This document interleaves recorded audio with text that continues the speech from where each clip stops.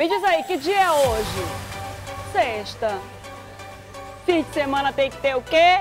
Peixe! E é por isso que o nosso agora premiado de hoje traz um vale almoço, vale dois almoços, viu? Lá na peixaria do Almirante Sidney. Hum, que além da comida ser maravilhosa, tem uma vista que vale a pena tu ir por causa da, por causa da comida também, minha gente, mas muito a pena por causa da vista. Pense numa vista para o rio maravilhosa que só tem lá na peixaria do Almirante. Então hoje, ó, você está acompanhando aí alguns pratos que tem lá. Tem esse tambaqui aí que o Ivan adora assado com banana frita. Tem matrichã recheada. Tem caldeirada de tambaqui com molho no tucupi, com aquele com a caldeirada ali com tucupi na caldeirada e jambu, que eu também sou apaixonada. Tem sardinha frita, pacu frito. Gente, escabeche, olha aí, é o escabeche também. Delicioso. E nesse horário de 11 h 09 eu já estou com fome. Se aparecesse uma matriz, olha aí, olha aí, de jambu, o que eu estou dizendo para você com tucupi, ó, caldeirada no tucupi, com jambu. E fora que essa vista é para você meditar, pensar na vida e pensar como a gente é agraciado por ter um rio como esse, principalmente poder comer um peixinho de vista para o rio. Lá na Peixaria do Almirante, nosso agora premiado de hoje, você vai ligar para o 3307 3951 3307 3952. Dois almoços, dois para duas pessoas, vale almoço para duas pessoas. E quando eu disser alô, você não vai dizer alô, você vai dizer Peixaria do Almirante. O quê? Repita! Peixaria do Almirante. Agora tá ligado, né, Ricardinho? Eita bagaceira, que eu também não vi se não tinha avisado. também não vi se não tinha avisado, tá, colega? Olha só, gente. É 11 horas e 10 minutinhos. A gente sabe que no programa da comunidade a gente fala de coisa muito alegre.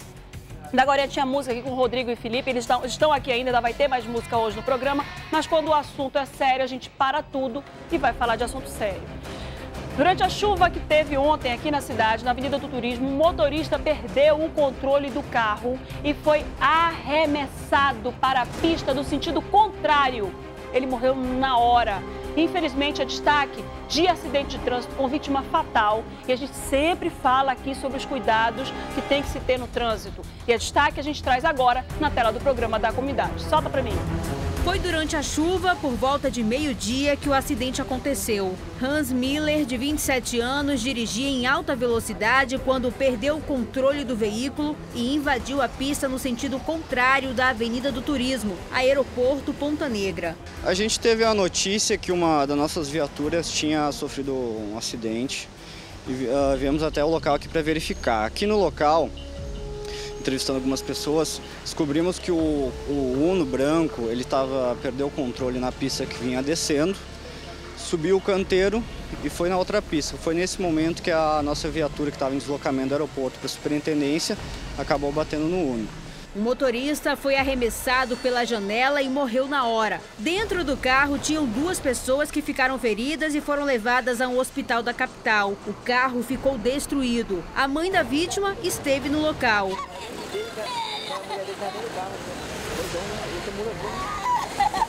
A área foi isolada para a perícia e o trânsito precisou ser desviado. Algumas áreas, como você vê, foi isolada com cone para manter a perícia seja completa para não alterar os dados. E no sentido Ponta Negra, aeroporto está mantido. No sentido aeroporto Ponta Negra está sendo balizado pelos agentes. Uma tristeza. Aquele carro preto que você estava vendo ali era um carro da Polícia Federal. Você viu o delegado federal falando ali, explicando que era uma viatura dele. É, esse carro preto era um carro da Polícia Federal e dentro do veículo do Hans, que infelizmente foi arremessado para fora do carro, vamos conversar sobre isso, estava a mulher dele e uma criança. E os dois, a criança não teve nada, não teve nenhum ferimento, graças a Deus. E o, o, o outro, a, a, mulher foi levada para também atendimento. É, esperamos que estejam bem as duas pessoas. Agora, gente, por que, que ele foi arremessado para fora do carro? Estava sem o cinto de segurança. E pior, essa rua aí, a Estrada do Turismo, é uma rua. Toda vez que eu percorro essa rua, o Robson, meu marido, que eu já, já falei várias vezes aqui, liga para mim: cuidado, tem muitos trechos nessa rua que tem empoçamento de água. Sabe o que acontece com o veículo? Quando o veículo passa por um, por um local que está com água empoçada, ele aquaplana. É difícil o nome, mas quem é condutor sabe o que, que é isso. Ele aquaplana, ele perde o atrito com o asfalto e patina.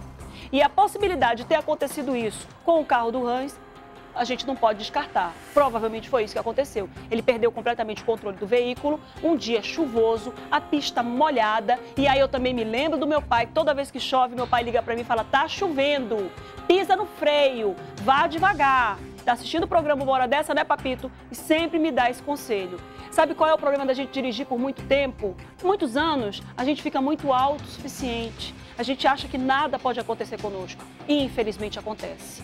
Infelizmente acontece. E foi isso que aconteceu com o Hans. Aí fica a mãe desesperada, chorando, desesperada e principalmente deixando mais um alerta. Aquela história de que a gente não pode seguir o caminho do outro para cair no mesmo buraco é a mais pura verdade. O que, que a gente tem que fazer? Tem pegada aqui, tem um buraco ali na frente, a gente segue por outro caminho.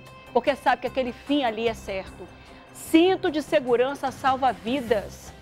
É, tenta resgatar, por favor, Cris, uma imagem do carro, do veículo. A gente vai ver com o veículo que a cabine onde estavam os passageiros, olha aí, ó. Você está acompanhando a cabine onde estavam os passageiros. Está destruída essa cabine? Esse carro capotou, trazendo a possibilidade de esmagamento de corpos? Estou sendo bem, bem assim, clara, para você prestar atenção. Não. Se ele tivesse de cinto de segurança, talvez ele não tivesse sido arremessado. Com certeza ele não teria sido arremessado para fora do carro e com certeza não estava jogado na frente do carro do carro preto, que é um carro da Polícia Federal, morto. Gente, cinto de segurança te incomoda? O que me incomoda mais é a morte. O que me incomoda mais sou eu bater o meu peito lá no, no, no, volante ou ser arremessado o vidro afora. Isso que me incomoda. Cinto de segurança não tem que incomodar. Cinto de segurança é obrigatório.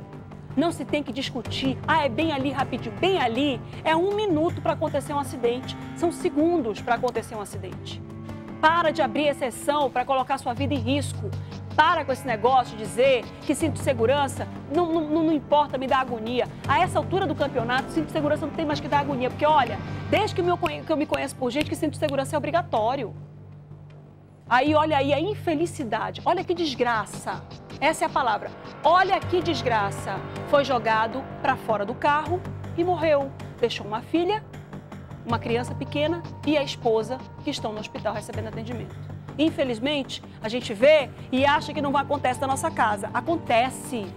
Acontece sim com a nossa família. A gente tem que alertar todo mundo para não acontecer isso, ok? Olha só, gente, vamos continuar trazendo informações, dessa vez de polícia. Um homem foi morto na noite de ontem na frente da, sua, da casa dele, na Compensa 2, zona oeste da capital. É destaque de polícia que a gente traz agora. Capricha nessa sirene, Ricardinho.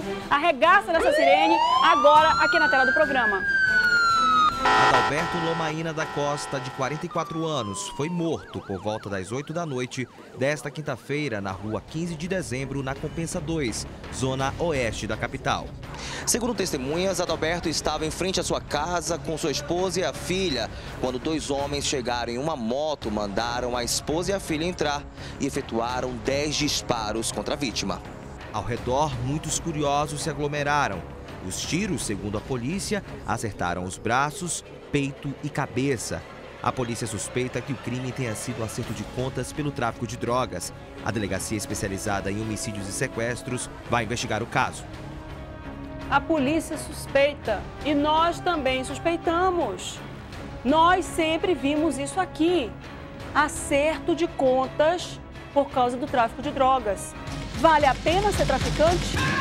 Vale a pena estar nesse mundo de tráfico de drogas? Não vale. Porque o fim é certo. E sabe qual é o fim? A morte. E não adianta vir com essa historinha, balela, historinha de, car de carochinha, da carochinha, conversa fiada, dizendo que ninguém tem medo de morrer. Eu duvido. Duvido.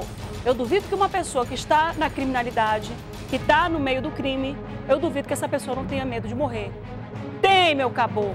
Porque a morte dá medo em todo mundo. São 11 horas e 18 minutos e todos os dias, infelizmente, para nossa tristeza, a gente destaca aqui na nossa ronda policial do programa da comunidade execuções. Pelo menos nesse caso aqui, a gente vê aí todo mundo. Eu me lembro muito que, que, que o Amaral Augusto dizia para mim que eu tinha um negócio de ética do crime, né? E foi ético. Eu vou dizer que não foi? O que, que foi que o bandido fez? O que, que o autor dos disparos fez? Entra mulher e filho, porque eu não tenho nada a ver com eles, não é contra eles os meus disparos, meus disparos não são contra a mulher e os filhos, contra a mulher e a filha. E quem vai morrer é só esse aqui que está me devendo dinheiro por causa de droga. Entrou a mulher, entrou o filho dele ou filha, não me lembro exatamente o que, que Bruno disse, era filho ou filha, e morreu ele com 10 tiros. Porque o traficante, o cara que cobra ah, esse tipo de acerto de contas, sabe que se matar a criança, o fim dele lá dentro da cadeia é certo. E eu não posso me esquecer do caso da criança de dois anos que foi morta a tiros aqui na Compensa. Aqui na Compensa, o pai chegou, tinha três traficantes na frente da casa dele. O homem chegou do trabalho com um filho pequeno, de dois aninhos, de três aninhos na mão. Expulsou os três homens da frente da casa dele. Os três homens se injuriaram e voltaram e meteram bala para dentro da casa. Quem morreu? A criança. A criança recebeu os tiros e morreu. Quem morreu depois lá na polícia preso? O homem que atirou na criança e morreu com requintes de crueldade. Quem matou? Os próprios parceiros do crime, os outros presos. Então a gente destaca isso aqui para quê? Para dizer que tem saída. Porque enquanto houver vida, há esperança. Aí tem muita gente em casa que está dizendo: ah, para com essa história, que quem é bandido vai virar bandido a vida inteira. Eu não acredito nisso. Eu acredito naquela pessoa que sabe escolher a sua vida e principalmente escolher seu caminho para sair daquela vida nojenta que é a vida de crime, vida de bandidagem. Eu acredito. Porque nós temos o quê? O nosso livre-arbítrio, né? Que todo mundo soube falar isso na igreja, na religião. Livre-arbítrio. Deus deu pra gente o livre-arbítrio. Infelizmente a gente faz da nossa vida o que a gente quer. Se faz com erro, vai pagar pelo erro. Se faz com acerto, vai depois ganhar os louros da semeadura. Semeia a terra com semente boa, vai colher planta. Semeia a terra com muita maldade, vai colher espinho. Essa é a realidade. 11 horas e 21 minutos, infelizmente, mais um destaque de polícia e a gente muda de assunto, porque esse assunto já deu. Você que está aí acompanhando o programa da comunidade, ligado conosco, vamos lá? Vamos dar uma amenizada na notícia? Vamos mudar um pouquinho esse foco, esse, esse, esse prisma? Mas ainda tem denúncia de comunidade, ainda tem ronda policial no programa da comunidade, viu? Mas agora a gente vai falar de assunto mais tranquilinho, né? Mais alegre. Vem aqui comigo, vem, porque eu tenho uma dica espetaculosa para você. Vem cá. Olha, esse recado é para você que já fez 40 ou passou dos 40. A osteoporose é uma doença silenciosa que enfraquece os ossos e é a principal causa de fraturas em pessoas acima de 40 anos. Por isso é recomendável tomar cálcio a partir dos 40. Mas preste atenção, você não tem que tomar qualquer cálcio não, né, gente? É sua saúde, você não pode brincar com ela. Você tem que tomar calcitran. Dá uma olhada aí nesse depoimento. Fui ao médico e ele detectou osteoporose e me indicou reposição de cálcio. E aí, assistindo TV, vi o comercial do Calcitran. Passei a tomar. As dores foram desaparecendo. Hoje eu tenho vida normal, faço caminhada, vou à academia e não sinto mais dor nenhuma. Tá vendo só? Com apenas um comprimido ao dia de calcitran, você repõe as necessidades diárias de cálcio e vitamina D. Agora, se você precisa de uma reposição de cálcio ainda mais rápida e eficaz, eu te recomendo o novo Calcitran MDK, que além do cálcio e vitamina D, tem magnésio e vitamina K2. Com Calcitran você vai ficar osso duro na queda. A linha Calcitran está à venda em todas as farmácias do Brasil, mas a preços promocionais somente nas drogarias Angélica e Farmabem. Agora, se lhe oferecerem outro produto, não aceite. Troque de farmácia, mas não troque de produto. Aí o Calcitran, a Divicon, faz uma série de pesquisas para poder trazer essa qualidade toda para você e você ainda vai trocar de, de, de medicação? Nada, nem pensar. Olha só, gente, É, vamos trazer informações aí que Manaus, de vez em quando, Manaus, né? É sacaneada, né? Não pode usar essa palavra, Ivan, não, né? Tem uma pesquisa aí, já era, já usei, né? Tem uma pesquisa que diz que, que Manaus está entre uma das cinco piores cidades quando se refere ao bem-estar social da população. Cinco piores. E isso aí foi avaliado, claro, por causa da qualidade de vida. Eu sempre falo da qualidade de vida quando eu reclamo de infraestrutura, de falta de água, de tudo isso. Pois é, essa pesquisa colocou Manaus como as cinco piores cidades. Triste, né? Vamos acompanhar a reportagem da Marquinhos Pereira. O carrinho não tá lá muito cheio. A feira foi fraca. Tem ideia de quanto o senhor gastou na feira hoje? Pai, gastei uns 50 reais aí, de repente, só isso aqui. Você acha que tá difícil viver? Tá muito bom não mesmo, né? A renda baixa influencia a qualidade de vida do seu João. Mas não é só isso. Além da questão econômica, outros fatores estão ligados ao bem-estar social, a viver bem. O acesso a transporte público de qualidade, por exemplo. Chega no fim do dia cansado, né? Não tem mais pique pra nada, né? Tem não. Um Instituto Nacional fez uma pesquisa nas principais capitais brasileiras. E o resultado, para Manaus, não foi lá muito bom. A pesquisa avaliou vários aspectos que vão desde a oferta de serviços básicos como água, luz e esgoto a questões de saúde. Manaus ficou entre as piores capitais do país e a falta de urbanismo é um dos maiores problemas. E o planejamento urbano inclui vários aspectos. A arborização nas calçadas, a acessibilidade em geral, a mobilidade, enfim, tudo isso são componentes fundamentais do projeto urbano. A pesquisa do Instituto Nacional de Ciência e Tecnologia, Observatório das Metrópoles. Manaus está entre as cinco capitais com pior índice de bem-estar urbano. Por causa do lixo, da falta de saneamento básico, das condições precárias de infraestrutura. Em termos de urbanização. É o que está mais o caos e policiamento, né, mãe? A cidade, com mais de 2 milhões de habitantes, enfrenta escassez em projetos de moradia popular e faltam muitas políticas públicas. Evidentemente, isso tem a ver com, com as questões que envolvem a qualidade de vida na cidade, que é realmente considerada nessa na pesquisa que está sendo avaliada uma cidade que está realmente a níveis muito baixos de qualidade de vida. A maioria das coisas tem, tinha que ser melhorada tudo tem que ser melhorado. Infelizmente, tudo tem que ser melhorado. Quando eu falo aqui sobre a infraestrutura, quando eu converso com você sobre a questão do fornecimento de água, energia elétrica, segurança, aquela sensação que o manauense tem de segurança, né? A gente precisa aqui discutir isso. A gente precisa trabalhar pensando que a qualidade de vida não é só você ter o dinheiro para fazer o rancho no fim do mês. É você viver com qualidade é você chegar à sua casa com uma rua iluminada, porque tem iluminação pública. É você poder comprar uma moto, mesmo que seja parcelada aí em 50, em 50 vezes, mas saber que você vai trafegar ali pela tua rua porque não tem buraco. É você dar descarga na tua privada e saber que tem um tratamento de esgoto e que aquele dejeto não vai virar, não vai cair num igarapé, não vai cair na nossa, numa, numa água nossa pluvial. Isso é qualidade de vida. É tudo isso. Né? A gente fica aqui pensando, ah, qualidade de vida é eu ter uma boa casa, né? Eu ter ali é, uma, uma, geladeira farta, eu poder pagar as minhas contas. Não é só isso a qualidade de vida. Isso é a qualidade da tua família, do seu viver ali dentro. Mas quando você sai, você passa com o teu carro com uma rua toda esburacada, é impedido de passar ali na compensa porque choveu e está alagada a rua da compensa, isso não é qualidade de vida. Eu sempre digo, que a infraestrutura, uma boa infraestrutura, não está só na minha rua, está na cidade toda. Porque se eu saio com o meu carro ali da minha rua, que está bem asfaltada, e vou lá para a Zona Leste, eu quero chegar nas ruas e que eu tiver que trafegar com o meu carro, e as ruas têm que estar sem buraco. Isso é qualidade de vida. Está longe, viu, minha gente? Está longe, está longe. Mas enquanto houver vida, é esperança.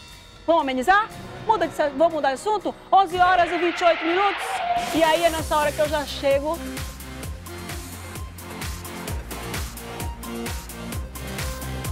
Você tá com vergonha ainda? Tô não, tô tá não. não, já passou? Passou. Ah, então tá bom. Ele tá com vergonha de mim. Sabe a vergonha alheia? Ele tá com vergonha alheia. Exatamente. A primeira vez que eu ouvi vergonha alheia foi da Luana, que a Luana uma vez teve um negócio, a Luana saiu correndo e falou, tava com vergonha alheia. E ele tava com vergonha alheia. Tudo bem? Tudo bem, Márcia. Muita música, né? Muito show.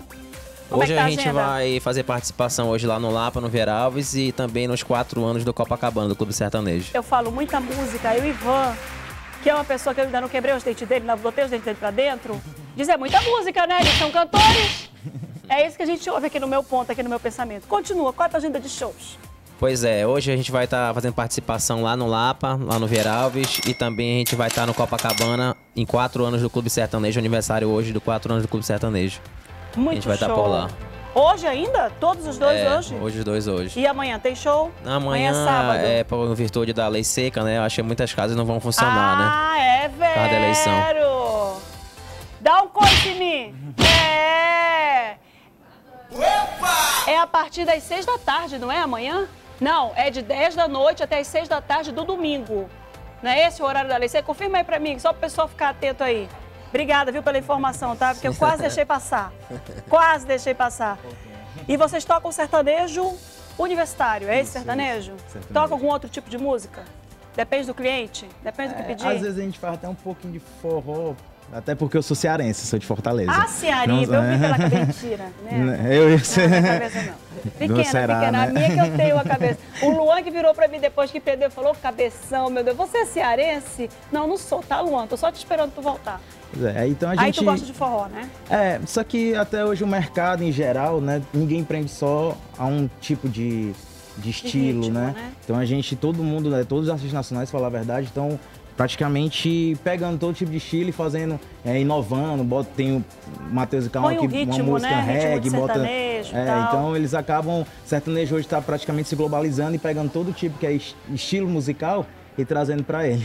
Sabe que eu, a gente, o pessoal que assiste o programa sabe que eu, eu, eu- eu tenho uma religião, né? Eu sou muito aferrada, assim, muito apegada na minha religião. Eu tenho uma, uma base católica, né? Fui até catequista e tudo, mas hoje eu sou espírita, né? Há uns 10 anos. E aí, eu, eu, eu sou meio chata pra rezar. Então eu vou rezando, eu venho rezando pra TV, ouvindo música religiosa, né? Eu venho pedindo, meu Deus, defendo meu dia de trabalho, meu pai, aí canto um pedaço da música. Aí daqui a pouco, proteja o Ivan, meu diretor, para que ele esteja bem humorado hoje, aí canta uma música. Proteja a Ingrid, a minha família, aí canta uma música. Aí nessa história a gente come, acontece de ouvir algumas músicas religiosas em ritmo de forró, em ritmo de sertanejo, que é justamente para pegar a juventude, né? Isso. Eu acho isso legal, eu acho que é legal. Eu acho que atender o que o gosto popular, o que o cliente quer, eu acho que é importante para o cantor. verdade. Vocês veem isso quando vocês estão ali trabalhando no dia a dia? É que é- é- a gente tem que agradar o nosso público, né? Então, é, a gente toca, não toca pra gente, não toca pra gente, toca pro público.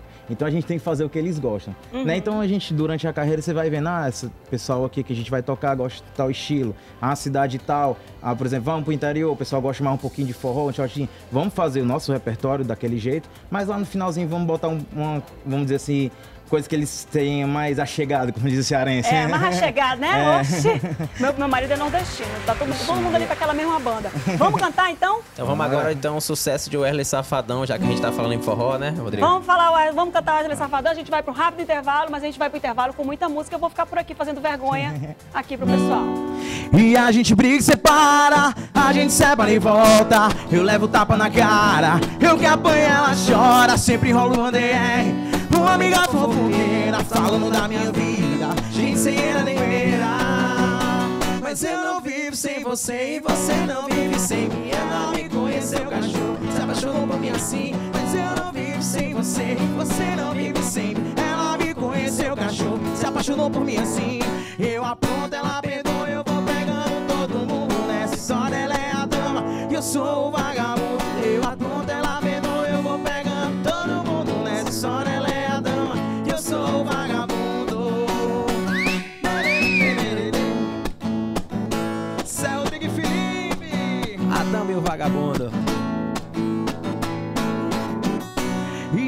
E a gente briga e separa, a gente separa e volta. Eu levo tapa na cara, eu que apanho, ela chora, sempre rola uma DR. Uma amiga fofoqueira falando da minha vida, gente era nem beira.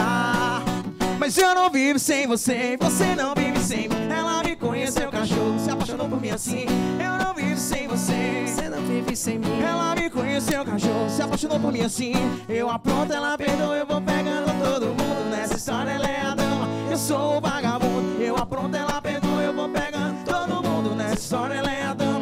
sou vagabundo. E eu apronto, ela perdoa, eu vou pegando todo mundo. Nessa história ela é a dama, eu sou vagabundo. Eu apronto, ela perdoa, eu vou pegando todo mundo. Nessa história ela é a dama, eu sou vagabundo. Zé Rodrigo e Felipe.